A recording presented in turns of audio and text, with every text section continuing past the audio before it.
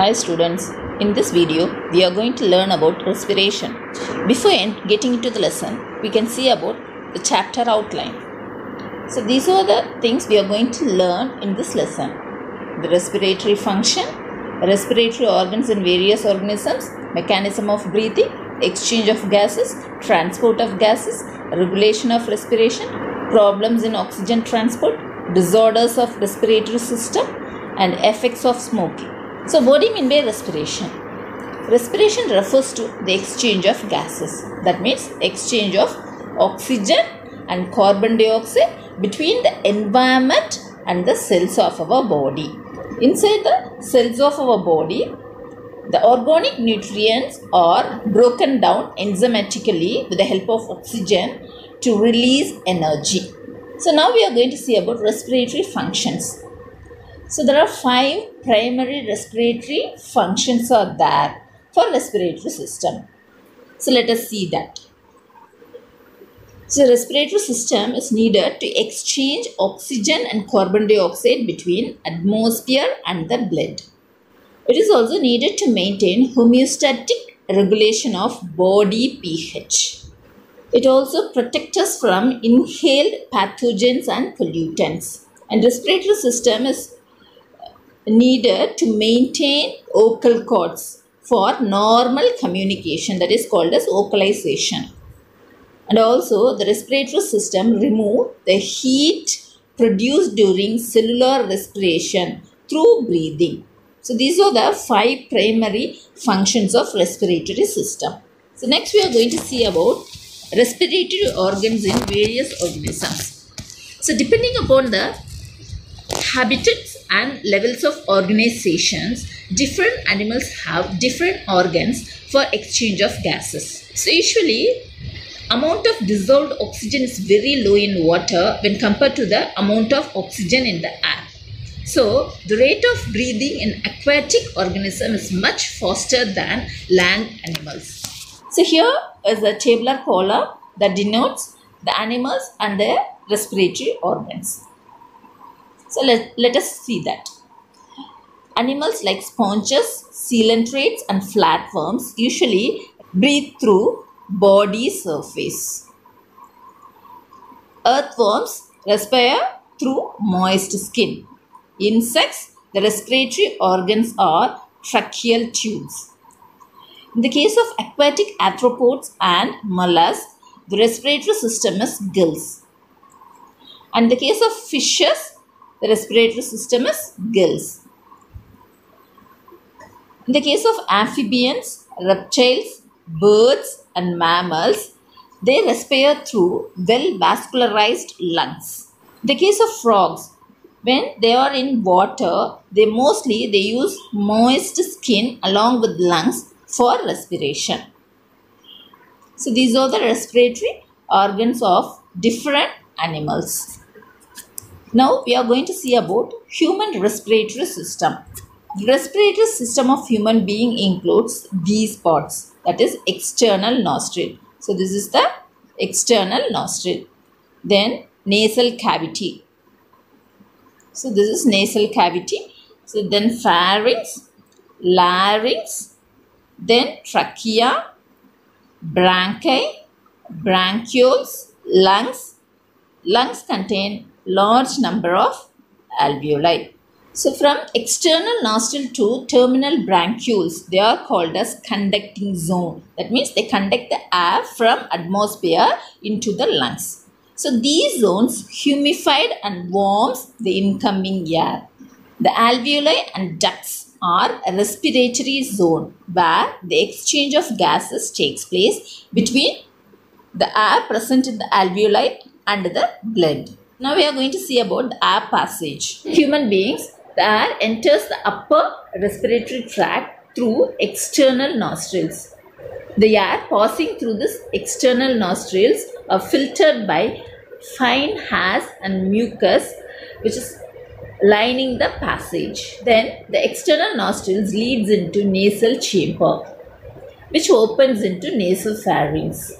This nasopharynx opens into larynx through glottis and larynx leads into trachea, trachea leads in, leads into bronchi and bronchi branches into bronchioles and the bronchioles opens into alveoli. The air passage, trachea, bronchi and bronchioles are lined with epithelial cells, ciliated epithelial cells and mucous membrane. This mucous membrane contains goblet cells which secrete mucus. This mucus is a slimy material which is rich in glycoprotein. So the function of these mucus is it will remove the microorganisms and dust particles which are enter along with the air. So next we are going to see about trachea. So trachea is a semi-flexible tube which is supported by multiple cartilaginous rings and trachea extends up to mid-thoracic cavity and at the level of fifth thoracic vertebrae the trachea divides into right and left primary bronchi and each bronchi enter into each lungs. Within the lungs, the bronchi divides repeatedly into secondary and tertiary bronchi. This tertiary bronchi further divided into terminal bronchioles and respiratory bronchioles. See this picture? So this is trachea and trachea divided into two bronchi at the level of fifth thoracic vertebrae and this this is the primary bronchus and after entering into the lungs it divides repeatedly into secondary and tertiary bronchi and the tertiary bronchi divided into terminal bronchioles and respiratory bronchioles. This respiratory or terminal bronchioles enter into alveoli. So next we are going to see about bronchi. Bronchi possess C-shaped curved cartilage plates. So what is the function of this cartilage plate? It ensures the air passage that does not collapse or burst due to air pressure changes during breathing. In the case of bronchioles, cartilaginous rings are absent, but the bronchioles are rigid in nature. That thereby, this rigidity prevent them from collapsing. And bronchioles are surrounded by smooth muscles. This helps the contraction and relaxation at the time of breathing in order to adjust the diameter of airways. So next we are going to see about alveoli. So alveoli are the fine respiratory bronchioles terminate into highly vascularized thin-walled air sacs that is called as alveoli. This alveoli is meant for gaseous exchange and this alveoli is made up of three layers. They are thin squamous epithelial cells, endothelium of alveolar capillaries and basement substance which is found between the thin squamous epithelial cells and endothelium of alveolar capillaries. The squamous epithelial cells are of two types. They are type 1 cells and type 2 cells. In the case of type 1 cell, they are very thin and because of this, the gases can diffuse rapidly through them. But in the case of type 2 cells, they are thicker. They synthesize and secrete a substance called surfactant. So these are the substance which is formed of a mixture of lipids and proteins. This will reduce us the surface interface tension of air and liquid. So see the three layers of alveoli.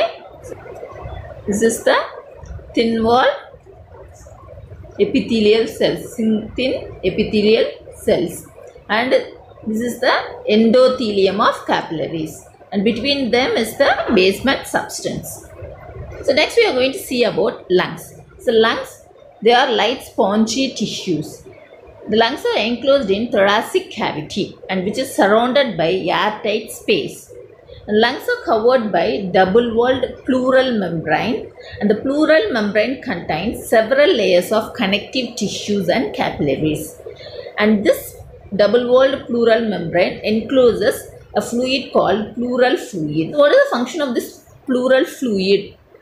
Is it reduces friction when lungs expand and contract at the time of breathing. So next we are going to see about characteristic features of respiratory surface. The surface area, in the case of respiratory surface, the surface area must be very large and which is richly supplied with blood vessels in order to facilitate the exchange of gases. And it should be extremely thin and kept moist. Then only uh, the exchange of gases is very easy, easy. And also it will prevent the friction also at the time of contraction and relaxation. Then it should be in direct contact with the environment. Then only we can get the air directly from the environment and it should be permeable to respiratory gases. What are the steps involved in respiration? Are the first step is there will be exchange of air between atmosphere and the lungs. So second step there will be exchange of oxygen and carbon dioxide between lungs and blood. Then the oxygen and carbon dioxide are transported by the blood to different parts of the body. Then there will be exchange of gases between blood and the cells. So after that the oxygen is uptaken by the cells for various activity and then carbon dioxide is released into the blood and blood carries that carbon dioxide to the lungs thus the carbon dioxide is expelled out. So next we are going to see about mechanism of breathing. So what do you mean by breathing? Breathing is nothing but movement of air between atmosphere and the lungs. So it is also called as ventilation. So breathing involves two phases. They are inspiration and expiration.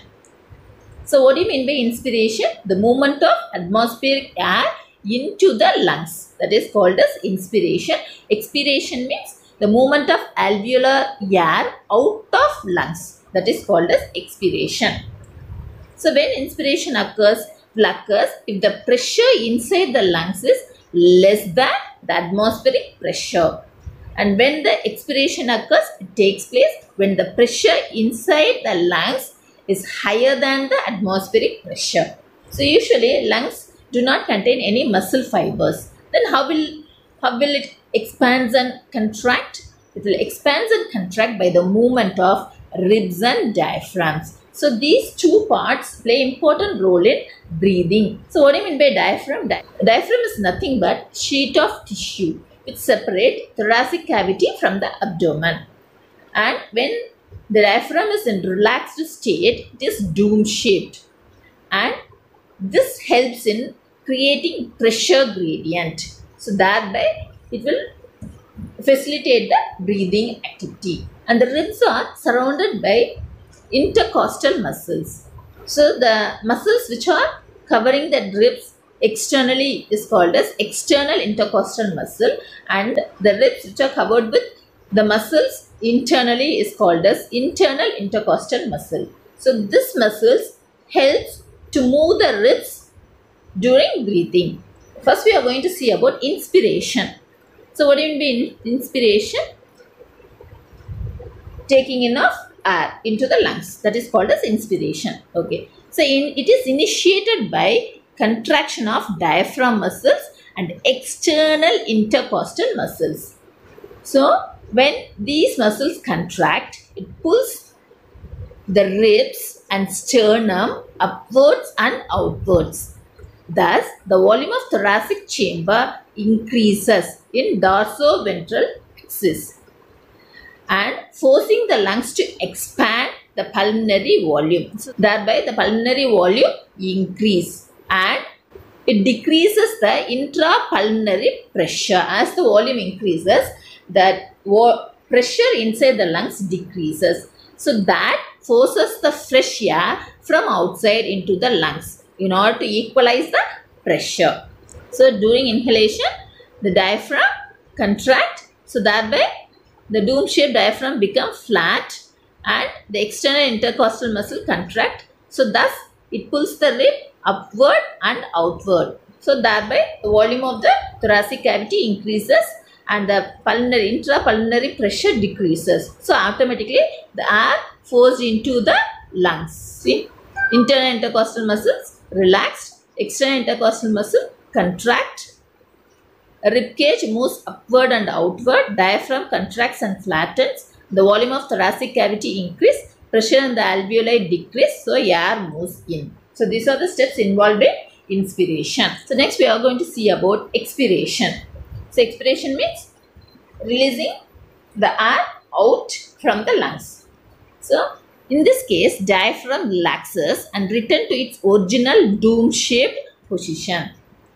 Then the internal intercostal muscles contract and pull the ribs downwards. Thus, it reduces the thoracic volume and also the pulmonary volume. So, this result in increase in intrapulmonary pressure slightly above the atmospheric pressure. So, automatically the air is expelled out from the lungs. So, at the time of exhalation, diaphragm relax and come to its original dome shape and the internal intercostal muscle contract thereby it pulls the rib inward and downward. Okay? So it pulls the rib downward. So automatically the pressure inside the lungs increases the volume decreases the air automatically sent outside. So these are the steps involved in exhalation. Internal intercostal muscle contract, external intercostal muscle relaxed, the rib cage moves downwards and inwards, diaphragm relaxes, the volume of the thoracic cavity decreases, pressure in alveoli increases and air moves out. On average, a healthy human breathes 12 to 16 times per minute. And there is an instrument named spirometer which is used to measure the volume of air involved in breathing movements for clinical assessment of a person's pulmonary function. Next, we are going to learn about respiratory volumes and capacities. The volume of air present in various phases of respiration is denoted as respiratory volumes. So first we are going to see about tidal volume. So what do you mean by tidal volume? It is the amount of air inspired or expired with a normal breath that is called as tidal volume. So the tidal volume is approximately 500 ml. That is a normal human adult can inspire or expire approximately 6000 to 8000 ml of air per minute. So during vigorous exercise, the tidal volume is about 4 to 10 times higher. So next is inspiratory reserve volume IRV. So additional volume of air a person can inspire by forceful inspiration is called as inspiratory reserve volume. So when a person forcefully inspire, he'll inspire additional volume of air that is called as inspiratory reserve volume. So the normal value for inspiratory reserve volume is about 2500 to 3000 ml of air. So next is expiratory reserve volume ERV. Additional volume of air a person can forcefully exhale by forceful expiration is called as expiratory reserve volume. That means, so uh, when a person forcefully ex ex exhale the air, when a person forcefully exhale the air, he will exhale additional volume of air. So that is called as expiratory reserve volume. So the normal value for ERV is 1000 to 1100 ml. The next is residual volume that is RV. So the volume of air remaining in the lungs after a forceful expiration. Okay, so after a forceful expiration, even though if we expire large, large amount of air outside, so some, some volume of air remain inside the lungs. That is called as residual volume. So the amount is approximately about 1100 to 1200 ml. So next we are going to see about respiratory capacities. So first one is vital capacity VC. So what do you mean by vital capacity? The, the maximum volume of air that can be moved out during single breath following a maximal inspirations after maximal inspiration okay so the maximum volume of air which is removed out during a single breath that is called as vital capacity so in this case a person first inspires maximally, then expires maximally. So that condition is called as vital capacity. So it can be calculated by VC is equal to ERV that means expiratory reserve volume plus tidal volume plus inspiratory reserve volume. Sum of these three process gives vital capacity. So next we are going to see about inspiratory capacity IC. The total volume of air a person can inhale after normal expiration.